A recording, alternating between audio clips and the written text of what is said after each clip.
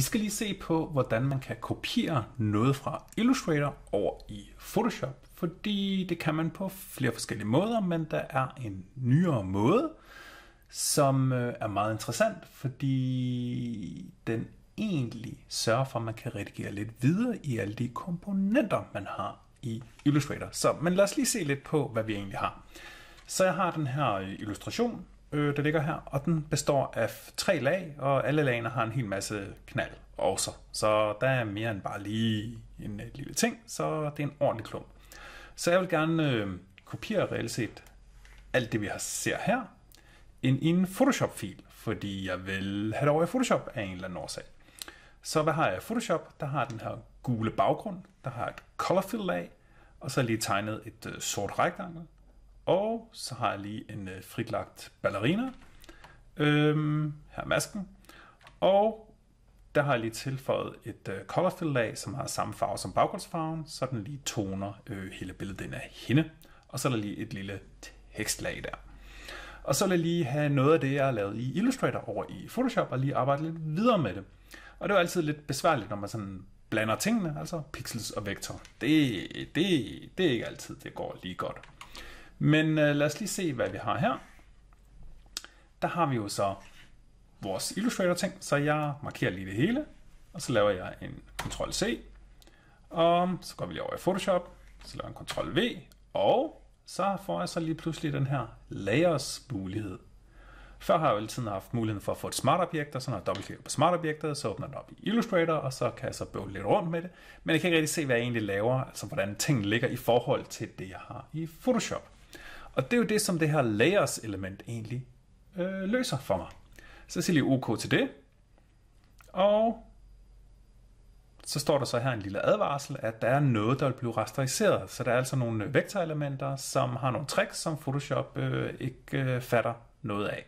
Og det er der, så derfor, det blev lavet om til pixels. Det blev vi så bare nødt til at acceptere. Så har jeg så min øh, illustration her.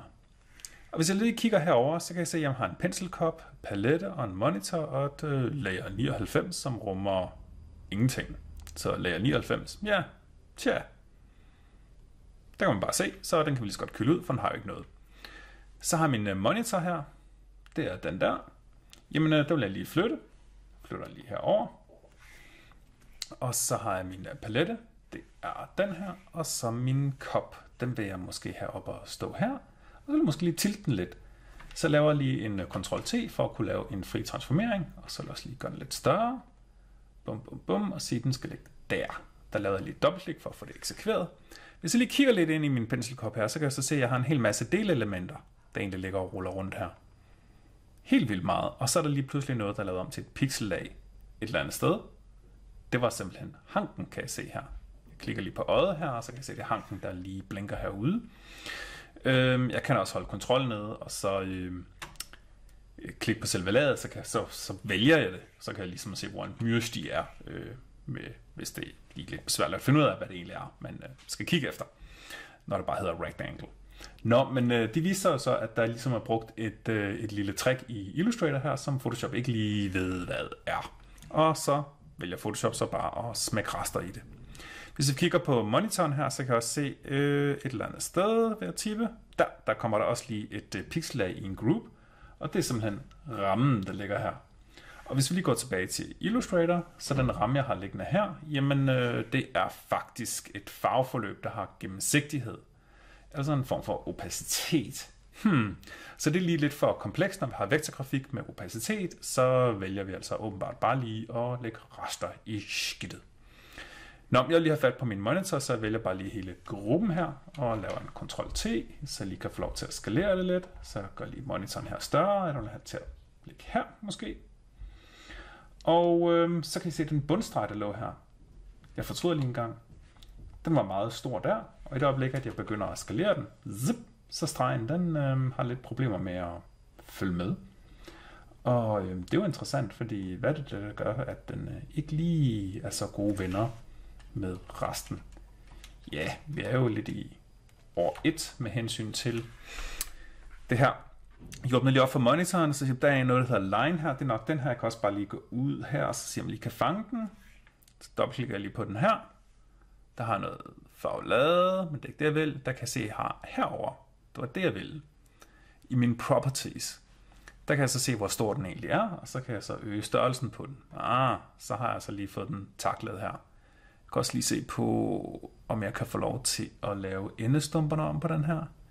Det var den ikke glad for, jeg har ikke nogen resultat herude. Så, hmm, så det vi ved nu, det er, at streger er følsomme, når vi laver det her trick. Så vi skal passe på, at vi ikke har for mange streger med, fordi de bliver åbenbart ikke lige sådan kopieret med over 100%. Nå, så blev vi så klogere. Så tager jeg lige paletten her, trækker ind her, laver en kontrol C igen, og lige vil forstørre den op, tager den lige her på foden, og så tænker jeg, ah, det kunne da være sjovt, hvis at selve paletten her var lidt gennemsigtig. Men det andet ikke er gennemsigtig. Som ligesom kan se lidt af benet, der lige sådan sakser ind her. Og monitoren her, den sakser jo lige ind her. Det ville være rart, hvis at benet var foran den. Øhm, så kunne jeg godt tænke mig, at monitoren måske lige lå bagved, så jeg flytter lige hele lavgruppen her. Sådan. Og så øh, havde vi jo lige... Palto. uh, det var paletten, jeg flyttede, det var ikke monitoren. Flytter lige monitoren ned. Og øh, paletten, den øh, rykker jeg lige op igen. Og så vil jeg gerne have pladen der, den er gennemsigtig, det vil sige den der. Og det jeg gør for at kunne vælge tingene automatisk her, det er, at jeg kan holde kontrol nede, og så klikke på tingene, så laver sådan en autoselect heroppe. Det kan også være, at det er den, der er slået, hvis den var slået til. Så jeg klikker bare på det, øh, men jeg foretrækker, at den ikke er slået til, den her autoselect. Så derfor, så hvis man lige har brug for det, så holder man lige kontrol ned og klikker i, øh, i dokumentet ud på det, man gerne vil have nallerne i. Så har jeg den her compound path, øhm, og den vil jeg så lige skrue lidt på opaciteten her, og den kan også have sin egen blending mode, hvis jeg lige pludselig skulle gå helt amok med et eller andet. Så det er jo interessant, fordi nu skal jeg jo ikke ind i Illustrator for lige at tage en delkomponent og så mixe den lidt, når jeg står i Photoshop. Og det er jo bare mega fedt i virkeligheden. Det her, det begynder at, at ligne noget, fordi øh, nu har vi så muligheden for at kunne mixe lidt mere mellem Photoshop og Illustrator, ligesom vi har set det i et års tid eller to, i det lille tegneprogram, der hedder Fresco, som øh, egentlig blander lidt vektorpensler sammen med pixelpensler. Og så har man sådan tænkt sig, hmm, hvornår begynder vi at kunne få en bedre integration øh, mellem øh, Photoshop og øh, Illustrator. Og det er det, vi begynder at se her. Vi får stumperne over, så de er simpelthen nemmere at arbejde videre med. Det kunne også være, at jeg tænker lige hernede, åh, det her RGB, der ligger hernede. Bum, hvad har jeg lige her? Der fik jeg fat i det her R. Øh, det er en shape path, den har en eller anden farve. Den har jeg her, jeg dobbeltklikker lige på den, så kommer den op og fortæller mig, hvad for en farve den har. Men jeg vil egentlig gerne have, at øh, den, er den er ikke så tydelig, så jeg vil gerne have, at den skal have samme farve som øh, monitoren her. Så jeg klikker egentlig bare med pipetten her, så æder den den farve, der ligger her. Og det samme er egentlig tilfældet med det G, jeg har her. Om jeg lige kan få fat på det. Den var der. Så dobbeltklikker jeg lige på ladet her. Så får farveladevælgeren op igen. Og så skal jeg også have øh, B'et her, der holder kontrol nede og dobbeltklikker. Så jeg ligesom fanger det, fordi jeg kan autoselect slå til. Så dobbeltklikker jeg herover igen, igen, igen, igen. Og så har jeg så simpelthen lige rekoloreret øh, nogle vektorelementer øh, direkte ind i Photoshop, så jeg bare lige en tur i Illustrator. Og det er det, jeg synes, at det her, hmm, det kan jeg faktisk godt bruge til noget, må jeg sige. Så øh, man skal egentlig bare copy-paste, og så får man altså delelementerne med. Og hvis man øh, i Illustrator lige har taget sig sammen, og lige organiseret sin fil en lille smule, så man kunne forestille sig, hvad det er, jeg gerne vil have til at flytte rundt, og hvad gider jeg ikke at skal til at flytte rundt, jamen øh, så er det jo så det, der kommer direkte over i øh, Photoshop efterfølgende, hvor det så simpelthen er nemmere at håndtere tingene, fordi det bliver sådan, det kan hurtigt blive rodet, men den tager jo lavnavnene med allerede, og så gør du det egentlig bare meget nemmere, det hele. Så husk at organisere din øh, fil, så bliver det en leg at lave et eller andet halløj. Det var det.